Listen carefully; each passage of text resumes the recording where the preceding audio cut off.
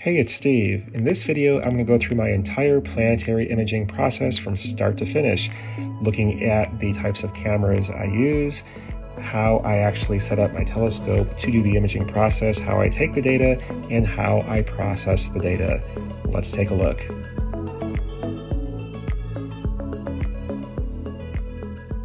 So in this video, we'll look at the differences between planetary imaging and deep sky imaging, look at the cameras and gear you need to image the planets, uh, take a look at what my setup is, do an actual image capturing session, and then go through how I process the data in PIPP, AutoStakkert, Registax, and Topaz Denoise, and then just some closing thoughts at the end. And I'll have time links below in the description to each of these segments.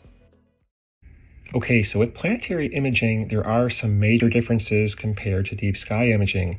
The number one thing is that you're trying to capture extremely short exposures instead of long ones. So instead of doing a 10 minute exposure of a deep sky object, you're trying to do a 10 millisecond or less exposure of a planet. Also, instead of trying to do a short focal ratio to gather the most light you can, you're trying to do a long focal ratio to maximize the apparent size of the planet you're trying to capture. Also, instead of stacking maybe five or 10 or 20 long exposures, you're trying to stack thousands and thousands of very short exposures, all taken within a short 60 to 90 second time period in many cases. It does help to try to do the smallest field of view you can and still capture the object of interest to minimize the amount of data you capture. Typically, you'll get your best results using a dedicated planetary imaging camera, but you can use a DSLR too and still get good results. The main limitation with the DSLR typically is that one, you're not going to get as high a frame rate as you can get with a dedicated astronomy camera, and two, you typically can't get uh, raw data out of your camera. So you're pulling out some type of file that has had a lot of compression done to it. And so you are losing some data if you do pull it directly from a DSLR uh, in most cases. Again, you want the highest frame rate possible, ideally 100 frames or more per second if you can. And one thing, you don't need to take darks or flats because it's a whole different type of imaging process. Uh, additionally, you don't actually need a tracking mount at all. I've taken some very good images of most of the planets using manual mounts that I track by hand. Because your exposures are so short, what you can do is just let the planet drift across the field of view, nudge the telescope, let it drift across the field of view again, and get good quality data without having uh, to worry about actually tracking the planet on a good mount. Obviously, having a mount that tracks makes everything easier, but it's not actually strictly needed for the imaging process. So what do you need for planetary photography besides a telescope? Well, you're going to need obviously a camera of some type. So here I have three ASI cameras. Those are dedicated astrophotography cameras as well as a DSLR. Now let's start out looking at the option of using a DSLR camera. So if you have a DSLR, you're going to need an adapter to connect this to your telescope. So what I have here is a Canon uh, EOS T-ring adapter. So this attaches, this has the bayonet attachment that goes to your camera, and then it has T-threads on the other end. And here is a one and a quarter inch nose piece that has T-threads on this end. So you can thread that onto your adapter for your camera, put that on your camera, and you're good to go. Now, you're probably gonna wanna still boost the focal length of your telescope. Generally speaking, you're trying to get up to like, you know, f20, f25, whatever. And so you are gonna need some type of Barlow lens or PowerMate. I have a TeleVue PowerMate here. It's a 2.5x PowerMate, so it will boost the focal length by 2.5 times. And so if you have an f10, it'll be f25.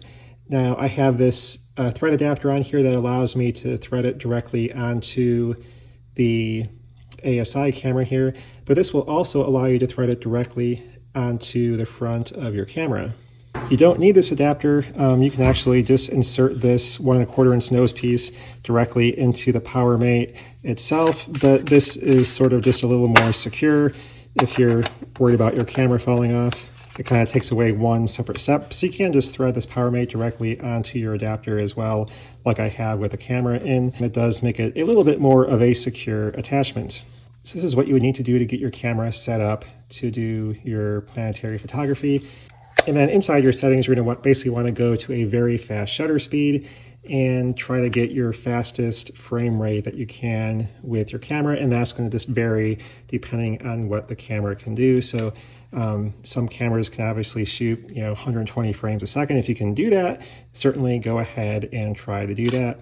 Um, if you can only shoot 30, then you're just going to shoot 30 frames a second. But regardless of how many frames per second you're doing, do try to keep that shutter speed really fast so that will reduce how much blur you have in the planet uh, with each individual video frame. So go for a very fast shutter speed regardless of how many frames per second your camera can do. Okay, so say you want a dedicated astronomy camera. Uh, a great one to start out with is this ASI 224. I've had great luck with that. I currently use the ASI 385. The field of view is a little bit bigger with it, but it's basically the same sort of uh, camera in terms of the pixel size and how many frames per second you're getting and that kind of thing. So not really a whole lot of difference there. Uh, this other camera here, though, is only a monochrome camera, so it only shoots black and white.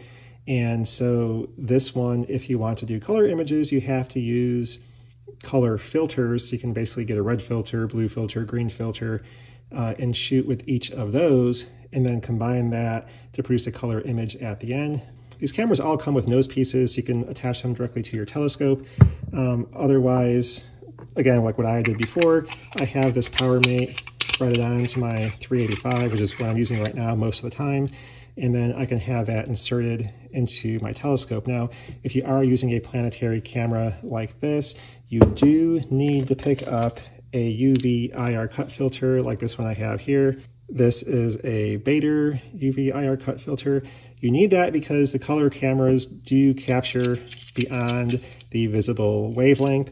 And so as a result, uh, you're going to have blurring of your photos if you do try to capture everything from UV to IR, uh, especially in the IR, um, they, they, tend to be very sensitive.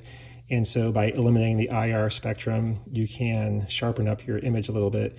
Conversely, you can use an IR pass filter and just capture IR with one of these cameras as well. Now, normally you would thread this on to the front of your PowerMate or Barlow lens that you're using, but I damaged the threads and so I can't do that. And so this is the diagonal that I normally use.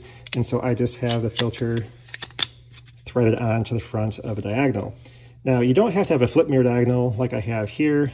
You could just use any diagonal and then just swap out the camera and the eyepiece. You could align the telescope, get the planet ready to go in terms of being in the middle and so forth with your eyepiece, and then use your camera. But with this flip mirror, I can swap between having light be reflected up into the eyepiece or letting the light go straight through to the camera. And so that makes it pretty convenient. The one downside here is that depending on your eyepiece, you may not be able to get the eyepiece and the camera in focus at the same time. That you can kind of play with, you know, pulling the camera out a little bit and, you know, the eyepiece out a little bit and everything to get everything uh, to where it'll be focused in both. That's not a huge deal. The main point of the eyepiece is to get the planet in the center of the field of view and then swap over to the camera and then I can refocus and, and that's fine. Um, a nice thing to add to your collection of parts if you do a lot of swapping back and forth between imaging and visual use especially. So my particular setup I'm using right now is a Celestron 8-inch Edge HD telescope on a Celestron Evolution mount, which is an alt-az mount. Um, I'm using an ASI 385 MC color camera right now as my primary camera for imaging the planets. As I mentioned earlier, I love the, the Baader flip mirror, which makes alignment a lot easier. You do need that UV IR cut filter. Uh, I am capturing all of this currently with a 12-inch 2016 MacBook um, so very underpowered in terms of the computer, but you don't need a lot. What you primarily need is a computer that has a USB 3.0 connection or better, and you have to have typically a pretty good SSD drive to capture that high volume of data coming in. For example, if I do a 90 second video uh, with the ASI camera, uh, even at a pretty cropped down resolution, I'm still looking at typically on the order of, you know, 12 to 13 gigabytes or more for just a 90 second video capture. And so you have to be able to write that much data to your drive, you know, within that time period to avoid losing a lot of frames. And so it doesn't have to be a powerful computer at all. It just has to have a fast SSD drive and that USB 3.0 connection. I'm using the ASI Studio to capture the video data. I like using it. A lot of people use Firecapture um, or other software to capture the radio data, but uh, I find the ASI Studio software pretty convenient and it works pretty well. It's gotten better over time as well, but uh, it's just a personal preference. So now we'll go through an actual video capturing and processing workflow session here. So step one, of course, is to actually take the data. So I'll go through how I do that. Um, typically then I use a Planetary Imaging Preprocessor, otherwise known as PIPP, to crop down the video data if I need to. Sometimes I don't, but if your video capture is uh, you know somewhat larger in terms of the frame size, and you're just processing the planet itself and not the planet and the moons, um, for example with Jupiter, then it's worthwhile to crop down your video clip to the smallest possible size that you can and still capture the planet because it will make your processing in AutoStakkert and Registax and everything else a lot faster. Next is to stack the video frames in AutoStakkert. Then next up, I typically do sharpening in Registax using the wavelet functions and then remove noise using Topaz Denoise AI software, which is great at that and then I'll do some final edits and uh, image annotation in Pixelmator, but obviously you can use whatever photo editing software you want. But that's pretty much my workflow, so now let's go through an actual image capturing session. Okay, so it's about 4.30 a.m. and I'm outside here with my 8-inch Edge HD telescope on the Evolution mount. I have my ASI 385 camera on the back of my telescope there with the Baader flip mirror and the Televue 2.5x PowerMate. And that is all hooked up here to a 12-inch MacBook that I'll be using to do the image capturing. And you can see here I'll be capturing Jupiter over the edge of my roof here. So the first thing I need to do is get the telescope turned on and aligned. Okay, now my alignment is complete. I can select Jupiter Okay, so I have Jupiter aligned in the telescope. Now I need to go ahead and get the ASI software loaded up as well as the screen recording. Okay, so for doing the video capturing itself, the first thing I do is open up the ASI Studio software and select the ASI capture application within the software. Um, you can see up here, it does have my camera showing up there um, as active and you can see the resolution is currently at 1936 by 1096, which is pretty large. I will change the resolution once I start capturing, but for now I will leave it at the large resolution so I can actually get Jupiter in the frame. Um, I'll go ahead and change my exposure time to 8 milliseconds, and then I'll pump the gain up here a bit just to actually make sure I can find Jupiter. Now you can see on the screen there is this very faint donut. Um, Jupiter is way out of focus, and so it's actually hard to find. And of course, getting that in focus helps quite a bit. And so once I have Jupiter here in the frame, I'll go ahead and change the resolution to 1280 by 720. And I could go to a smaller resolution, but um, I have had uh, a couple little spots of dust on the camera that I haven't gotten cleaned off yet. And so by having the larger frame, I can keep Jupiter off into one corner and avoid having it be sitting, you know, in front of one of those uh, little specks of dust because those specks of dust will end up obviously in the final image. So I want to keep all the values on the histogram below 100 so I don't blow out any of the bright areas on Jupiter. So I adjust the gain here to be just under 100. And again, your settings here for your gain are going to vary actually day to day, depending on how transparent the atmosphere is. If there is some haze or, or smoke in the air, you're going to have to have a higher gain potentially. And if the air is very clear, you'll typically have a lower gain uh, because you're going to get more light transmission. And of course, the bigger your telescope is, more light you're gathering, and so you'll be using uh, a lower gain value versus a smaller telescope. So I went ahead and set the limit here to 90 seconds, so we'll automatically stop recording at 90 seconds. Since Jupiter does rotate very quickly, going past 90 seconds does start to introduce some issues with your video processing. You can go you can go two minutes or even a little bit longer and and still be okay, but you do tend to get more blurring of features the longer you capture since Jupiter is rotating quickly. And so I captured 90 seconds of data here, and you can see that was successfully saved and processed by ASI.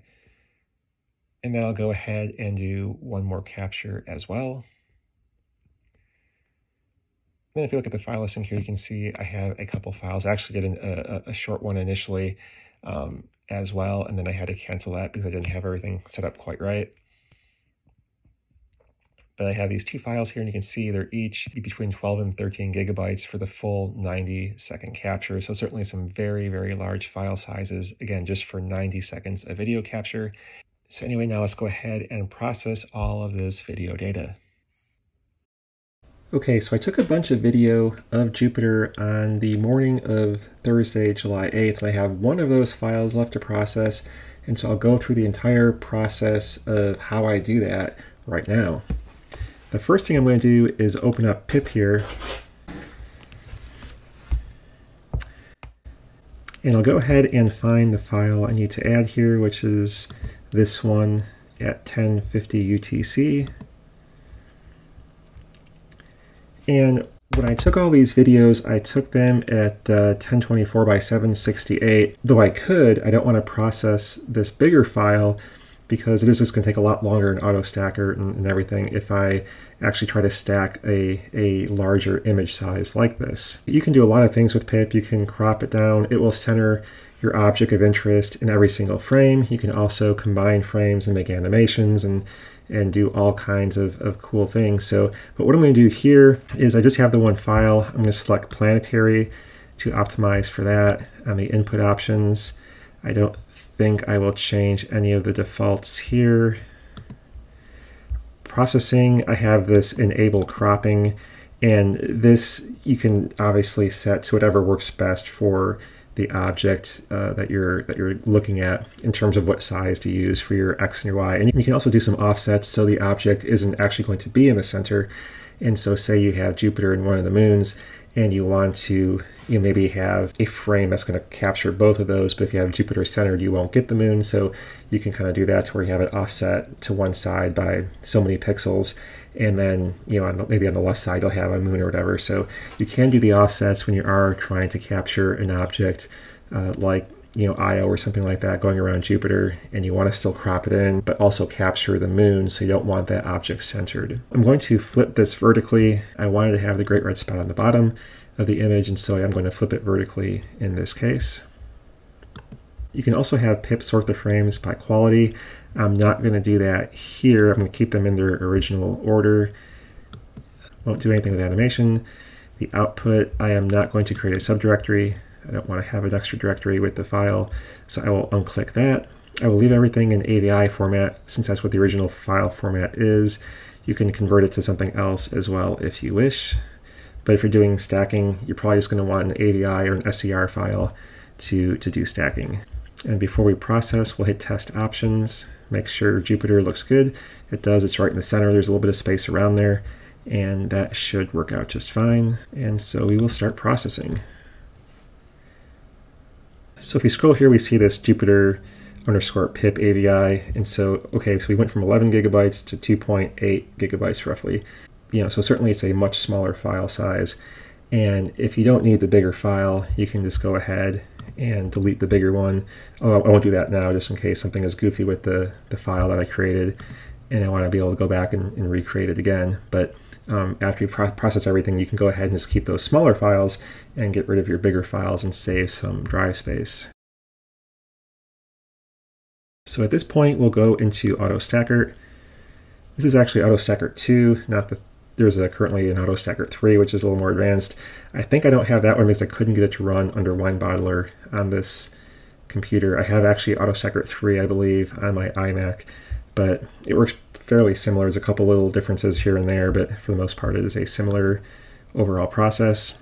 So I will go ahead and select the file here that I created with PIPP, and then hit the Analyze button. I, I was getting some frames here and there where they'd get garbled. And AutoStakkert will usually put those at the start so you can kind of get rid of them easily. But Anyway, this is very important to do if you are stacking in AutoStakkert is to go through and eliminate these bad frames. And so the way you do that here is I'm on frame one. You can see the one here and you can change this to a certain frame where you can just move this slider and you can use your arrow keys to kind of go through frame by frame using the up and down arrow keys.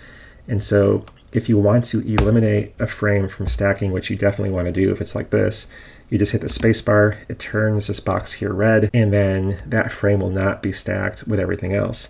So you can go to your next frame, do the same thing, And I think that is the extent of the bad frames.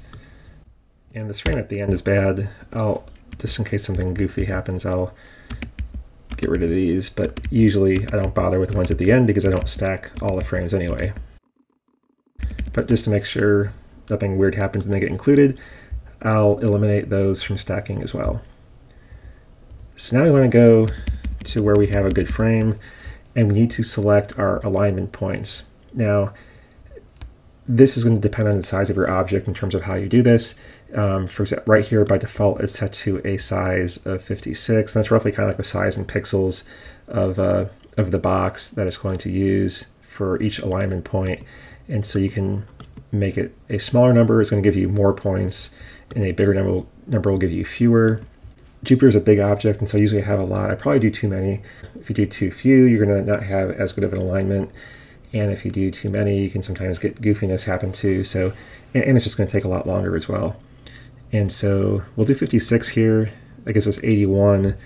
You can also manually click and add more points. I can add a few more here on the great red spot, or you know maybe one of these bands, something like that.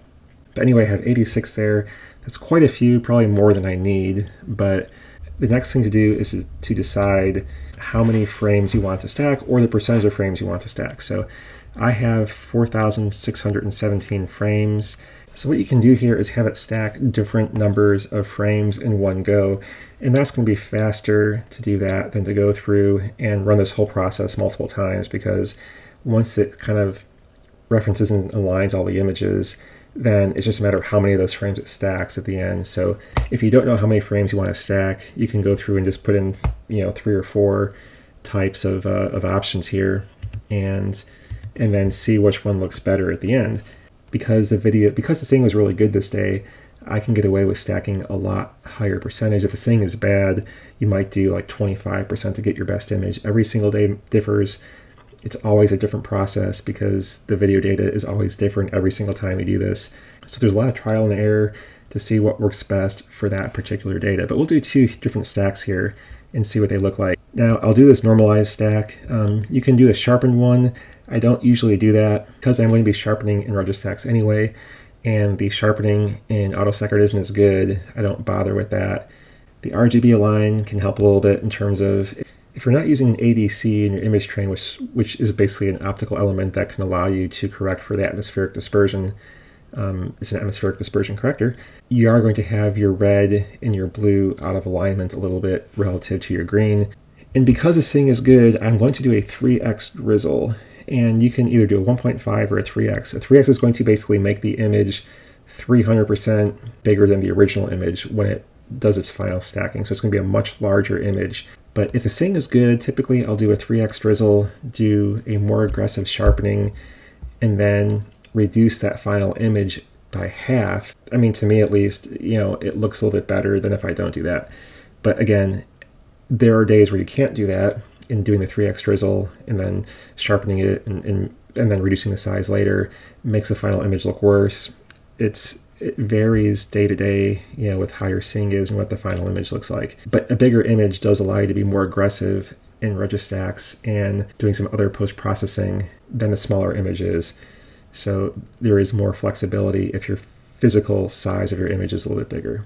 So anyway, we're going to do two stacks here, 140, 180% of the frames. We'll compare those afterwards, and we'll go ahead and do the stack. And this is going to take a long time on this 12-inch MacBook. But again, I'll go ahead and speed through this, and then we'll jump through and look at the final images. So it finished the first stacking of the 40% uh, set of frames, and now it's going through and it looks like it's done, but it's not. This image stacking checkbox is grayed out because it's doing the second round, and you can see here it says processing. So it finished the 40% stack and now it's going back and doing the 80% stack. Um, we can go through though and look at the first image. Here is the stack of 40% of the frames. And so you can see overall just stacking 40% and just doing AutoStakkert, no sharpening at all. You get a image that looks pretty nice. I mean, there, there's a lot of detail visible. Everything's kind of a little bit muted and, and you know, kind of blurred out a little bit, but but there is a lot of detail that's visible there. And so if your image looks good out of AutoStakkert, your final image is going to look good, obviously. And so if it looks bad out of AutoStakkert, it's not going to look great farther down the road. So you do want to try to get the best image you can at this point. But you can see here the comparison between a raw video frame on the left and the stacked frame on the right. And so it basically removes all the noise by stacking all those frames. The same if you're doing a deep sky image, you stack a bunch of frames, remove background noise. The same thing with the planetary images, you stack a bunch of frames and that does remove all of that noise that you have in each individual frame and you get a dramatically better looking image just by stacking and not doing anything else. We'll go ahead and pull up the stacked image here with the 80% stack and compare it to the 40% stack. There's not a huge difference there. It's possible the 40% stack is actually a little bit sharper. Anyway, we'll go ahead and we will open up Registax. So select and we'll go to this 80% one first and see how that does hit yes on stretch intensity.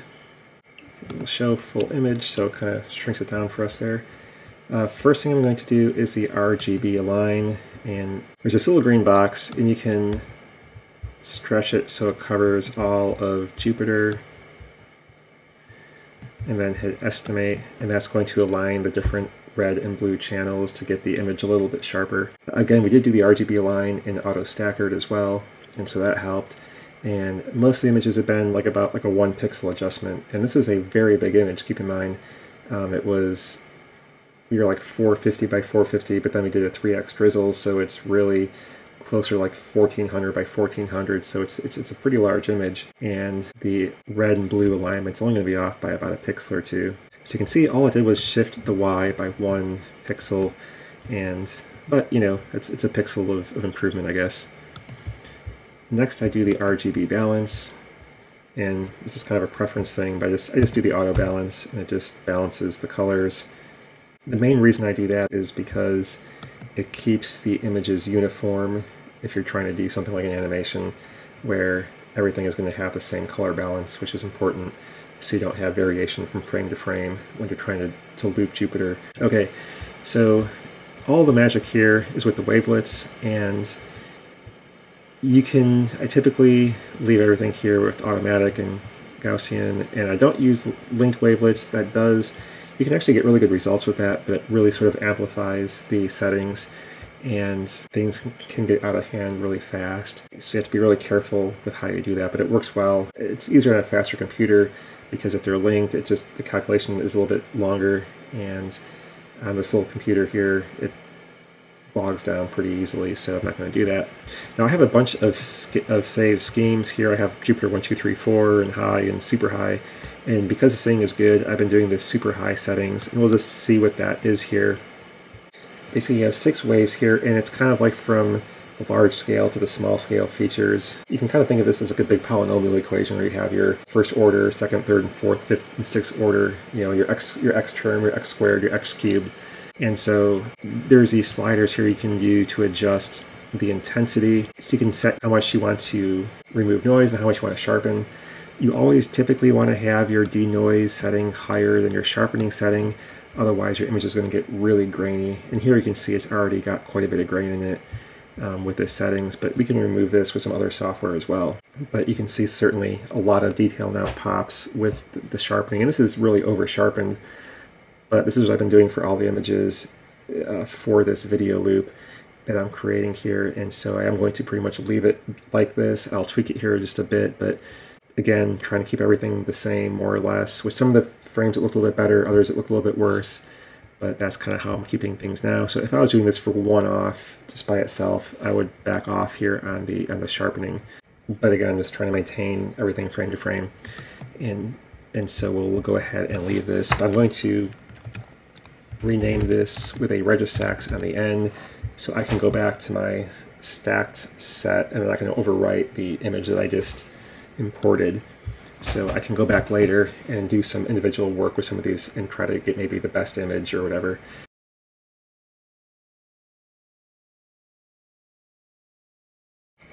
We'll open up those three that we just sharpened here and you can kind of see the difference. This is the 40% stack at the higher sharpening level this is the same with the 80% stack So it's actually a little bit less sharp. There's a little bit more blurriness there, interestingly. So you can see few, the fewer frames actually came out a little bit better. And then here is with the less sharpening done. So we'll do the 80% one first. I'm going to now use Topaz Denoise, which does a great job at removing noise in your images.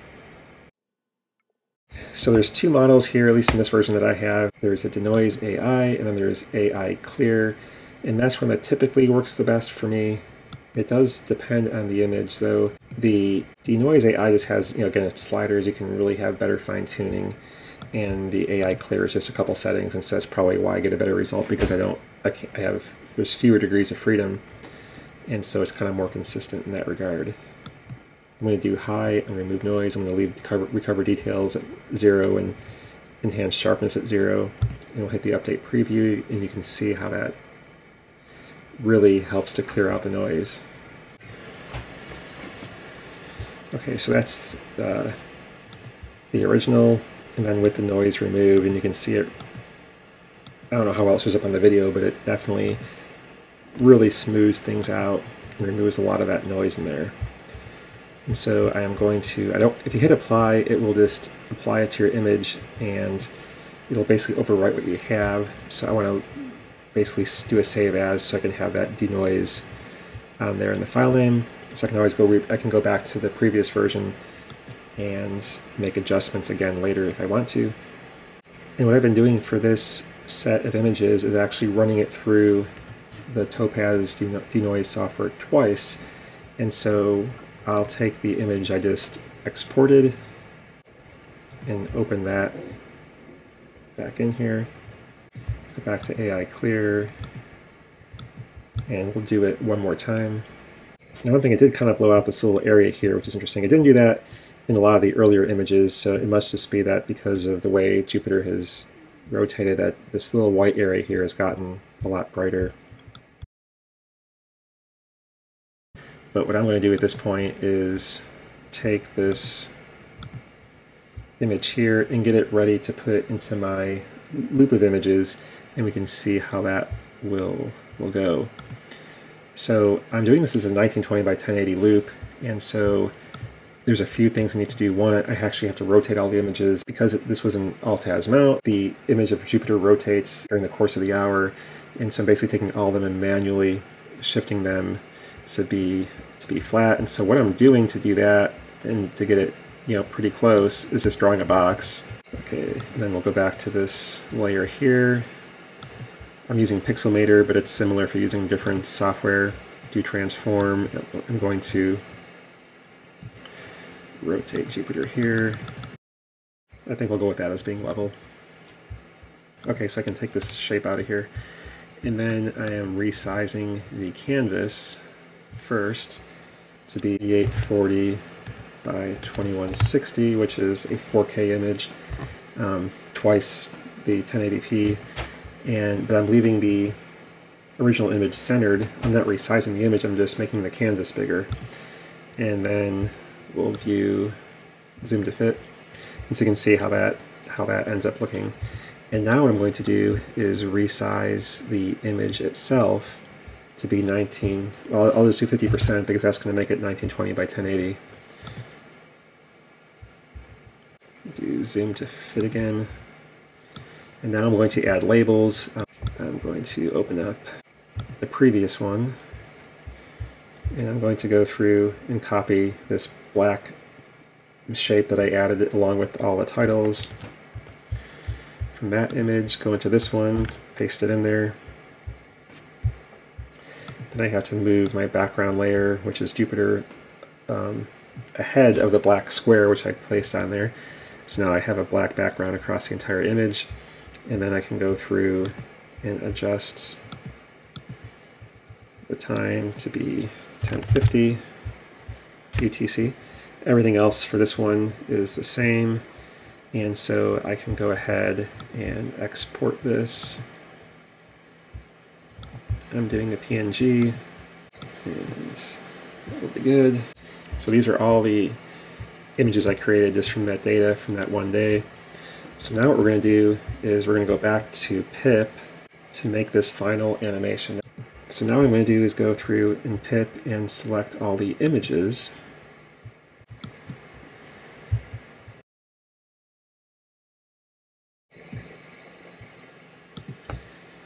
Okay, so I have join mode selected because I want to make them all into one video. There's the preview, which looks fine. So input won't be any difference. Processing, nothing we're going to change there. Output options, let's see.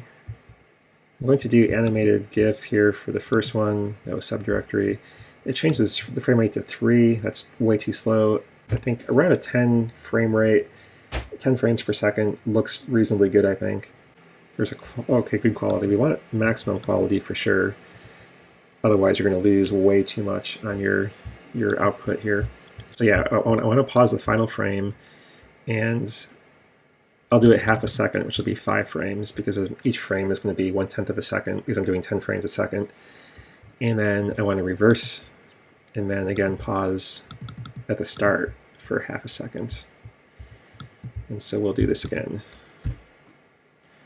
So I'll rotate, stop, rotate back, stop, rotate forward, stop, and just keep doing that endlessly. So now we'll go back to our file list here. And so this is the one, the animation that it made. But anyway, here is our final loop. So that looks pretty nice. I didn't get every frame perfectly aligned. Again, every single frame I had to manually rotate to be level, and so it wasn't perfect on all of them. And so there's a little bit of jumpiness. But anyway, that's typical process I use when editing my videos. I take of the planets, and again, every single time we do this, it's going to be a little bit different but you can kind of see here how everything works.